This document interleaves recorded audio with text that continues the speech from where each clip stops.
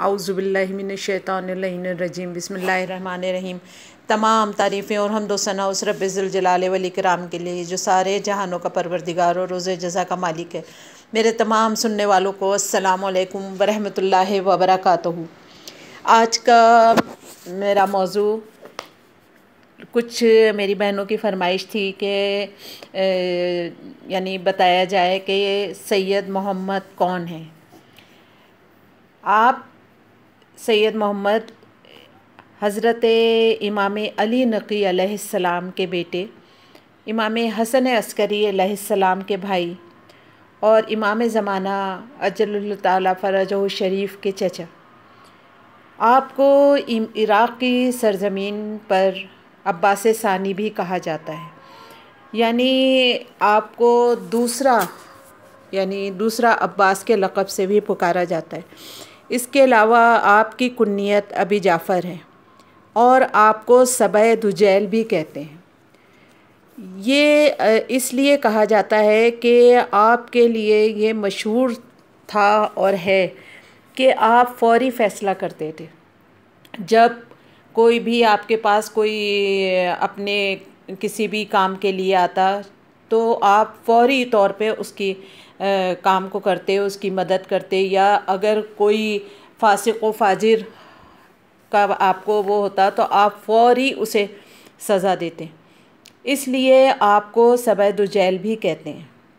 इमाम अली नकी अलैहिस्सलाम के बेटा होना और इमाम ज़माना का चचा होना इमाम हसन अस्करी का भाई होना ये भी एक बहुत बड़ा शरफ़ है। लेकिन आप ख़ुद भी बहुत मुत्तकी, परहेज़गार और बहुत बड़े मनसब पर फाइज थे। और आप वो सैयद के नाम से मशहूर हैं जो बर वक्त फ़ैसला करते थे। और आज भी आपके, यानी वहाँ रोज़े का ये आलम है कि आपका रोज़ा मशहूर है कि वहाँ पर बहुत ज़्यादा परवरदिगार को अगर मंजूरी होती है तो बहुत बहुत ज़्यादा मन्नतें पूरी होती हैं खसूस इसमें औलाद के लिए, अमूमन बहुत ज़्यादा वहाँ मन्नतें मानी जाती हैं।